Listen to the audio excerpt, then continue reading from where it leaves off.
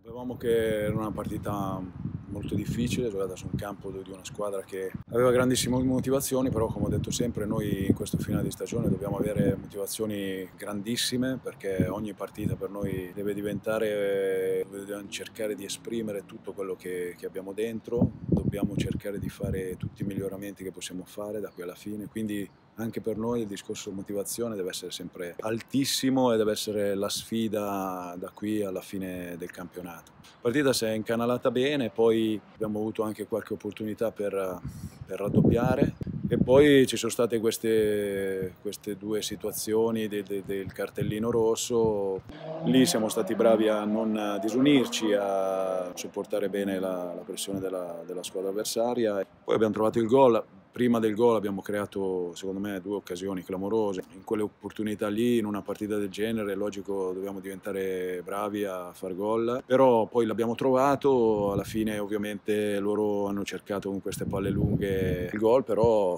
siamo riusciti a difenderci bene, portiamo a casa un risultato enorme, positivo